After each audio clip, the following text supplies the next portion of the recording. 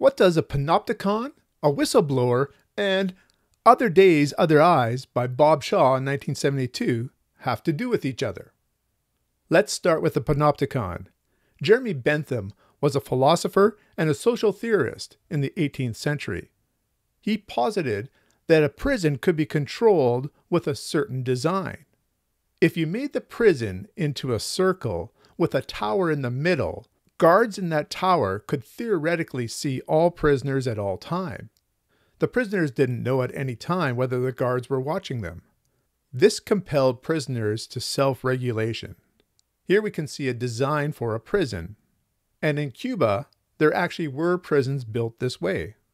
This design was called the panopticon. Not only could this design be used in a prison, it could also be used in a hospital, school, or sanatorium. The whistleblower is Edward Joseph Snowden. In 2013, he was working as an employee and subcontractor for the NSA, the National Security Agency of United States. He released documents to a journalist showing that the NSA was conducting illegal global surveillance, using cell phone companies and providers to track anybody in the world. Not only track them, but be able to see their screens and hear what they were saying. The documentary Citizenfour by Laura Poitras details his release of these documents to journalist Glenn Greenwald. It won the Academy Award for Best Documentary.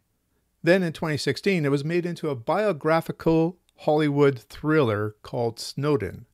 It was directed by Oliver Stone and starred Joseph Gordon Levitt as Edward Snowden. So we first have the panopticon Big Brother is watching. And then we find out that the NSA is Big Brother to the whole world. What has that got to do with Other Days, Other Eyes by Bob Shaw? Well, let's talk a little bit about the story. In the August 1966 Analog magazine, Bob Shaw's story, The Light of Other Days, was printed. This story became his most famous short story. Bob Shaw used this story and two others to make a fix up novel called Other Days, Other Eyes. This was a very different fix up novel. There was a framework throughout this novel where we had an ongoing story. The stories were fit in as Sidelight 1, Sidelight 2, and Sidelight 3. So, for example, on page 26, we have Sidelight 1, Light of Other Days. So, what is the novum or idea or concept that is primary in this novel?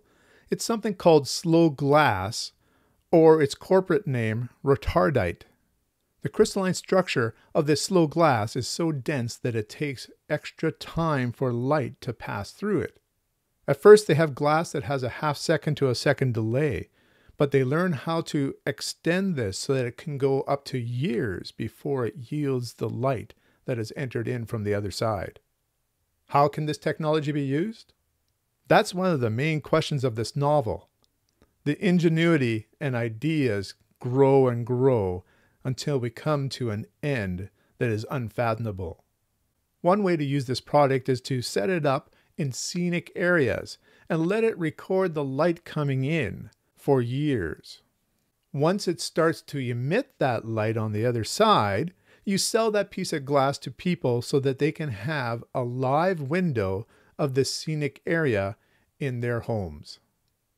You could live in a windowless basement, but if you put up this window, you could see that scenic sight.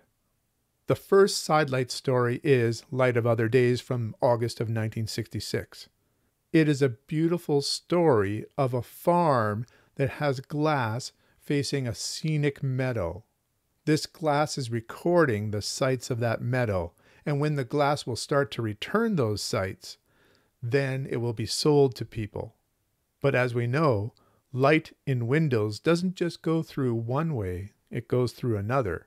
And we have a very poignant story of a farmer stuck in the past of what the window is showing him.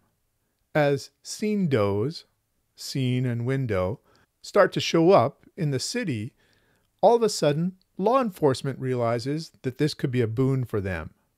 There's a story of someone who is convicted of murder, but there is a scenedow that has seen this murder, only the light won't come out for another five years.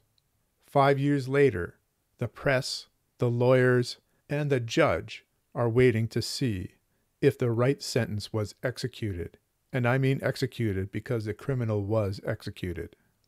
As slow glass becomes more and more prevalent, the next step is to see if you can unleash that which is recorded in the slow glass on your own time, at your own pace.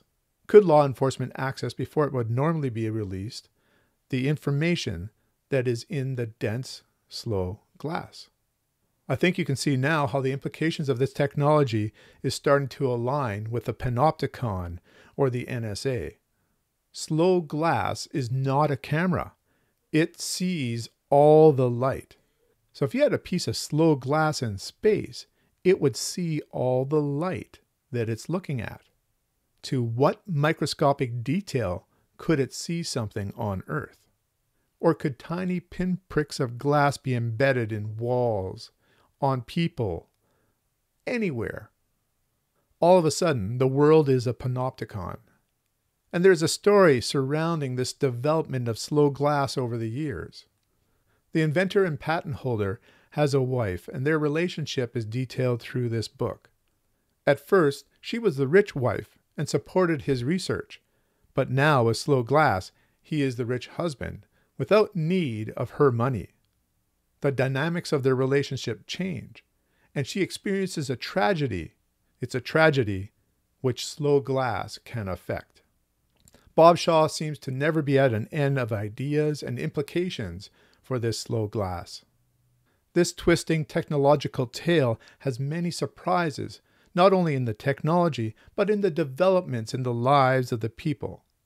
This is a classic work of science fiction, but you may have never heard of it.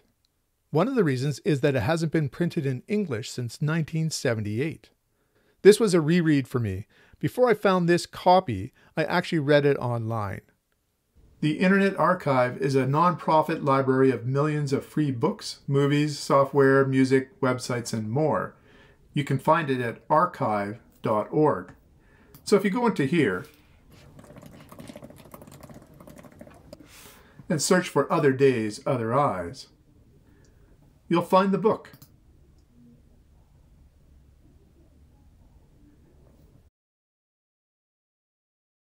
And you'll be able to borrow this book.